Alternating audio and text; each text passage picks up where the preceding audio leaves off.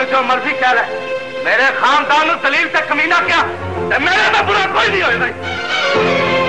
زبان بند کرو بخشو السلام علیکم ناظرین، میں تارک ثانی تے تواڈے سے بڑی ہی زبردست ایک فلم لے کے آیا ہاں۔ لے کے آیا۔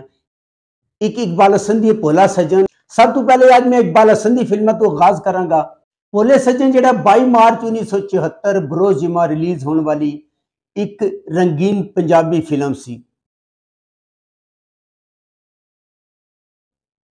اس فلم کا جڑا موضوع ہے، ہلکی پھلکی کامیڈی بنائی گئی ہے۔ میرا خیال ہے کہ پہلی دفعہ اقبال حسن نے اس فلم دے اندر کامیڈی دا مظاہرہ کیتا ہے۔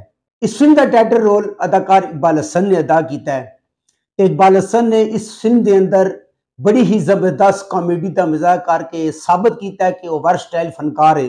آسیہ نے اور ناصرہ نے خاص طور تے بڑی ہی زبردست ایکٹنگ کیتی ہے۔ اس فلم دے کار اشفاق ملک صاحب سن، تو انہوں نے بڑی اچھی ڈائریکشن دا مظاہرہ کیتا ہے اور مضبوط ڈائریکشن اور مضبوط کہانی دی وجہ تو اے فلم جڑا نا یہ اپنے دور دی سپر ہٹ فلم ثابت ہوئی۔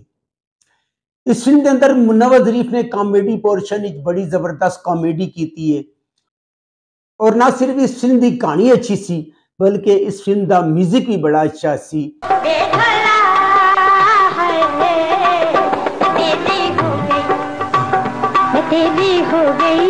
اور اقبال حسن نے ایک گویا جڑا کہ میوزک سکھ رہا ہوندا ہے، اور منو ظریف نے میوزک استاد ہوندا ہے، اور منو ظریف نے میوزک استاد روپی بڑی ہی زبردست اور بڑی ہی اچھی کامیڈی دا مظاہرہ کیتا ہے۔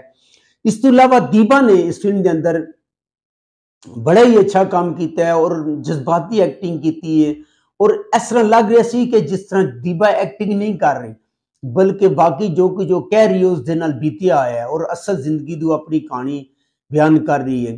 نہ صرف اقبال حسن نے اچھی کامیڈی کیتی ہے بلکہ جدو جذباتی کام دا آیا ہے ٹائم تو اس نے بڑا اچھا جذباتی کام کیتا ہے فلم بولے سجن جڑا نا اے پوری تن یوٹیوب تے نہیں ملے گی۔